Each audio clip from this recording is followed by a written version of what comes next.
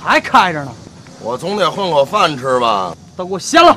小慧慧欺负水果摊小贩，二话不说就要掀摊儿。小贩刚要上前阻止，反而因此激怒了慧慧，叫板是吧？砸！就在小贩无助时，大哥带着小弟突然出现。